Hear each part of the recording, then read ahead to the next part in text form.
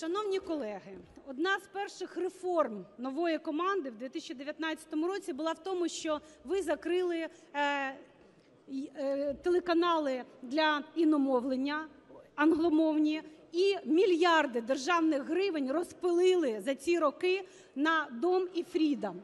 На цих телеканалах весь час тягають туди хороших русських. Ваші друзі з 95-го кварталу і подруги отримують там мільярди і мільйони державного фінансування на те, щоб тягти туди хороших русських. І в цей час ми чуємо, що грошей на армію немає. Розумієте, показувати сюжети з ФСБшниками і називати, що вони рятують українців з Херсону, на це гроші є, а на армію грошей немає. Так ось, насправді, в цьому законопроекті ми пропонуємо 2 мільярди гривень переспрямувати з марафону з російськомовних телеканалів Дом і Фрідом на Збройні Сили України.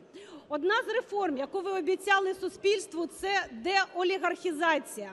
Але зараз олігархічні канали, зокрема «1+1», зокрема Інтер, фінансуються державою.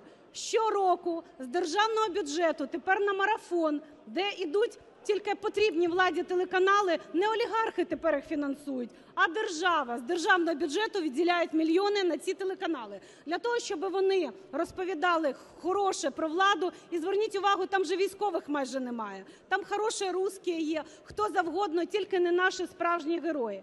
Тому я прошу поставити зараз на, е, на е, голосування поправки 421, 424, 425 і 426. Про що ці поправки? Шановні військовослужбовці, ці поправки про це, щоб 2 мільярди гривень, які з ваших податків, з податків ваших родин, влада щороку перераховує не на англійський телеканал, англійномовний, як сьогодні нам президент Зеленський говорив, а на російськомовні телеканали Дом і Фрідом, на канал Рада, який не показує Раду, тільки вночі десь там, а все що завгодно. ФСБшників канал Рада в нас тепер е, рекламує.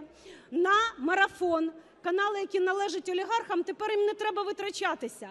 Плюси, інтер, інші телеканали отримують мільярди з державного бюджету. Ви за це голосували, шановні виборці. Ми вимагаємо ці кошти 2 мільярди гривень перерахувати на Збройні Сили України, щоб кожен військовослужбовець отримував доплати від 30 до 100 тисяч гривень, щоб в армії були гроші на закупівлю дронів, на закупівлю техніки, на закупівлю машин, а не волонтери це тягали. Гроші є, але ж владі треба розповідати, що все добре в марафоні, і це є хабар олігархам для того, щоб там не критикували страшні речі, які відбуваються в тому числі в корупції. Я нагадаю, що в нас суспільне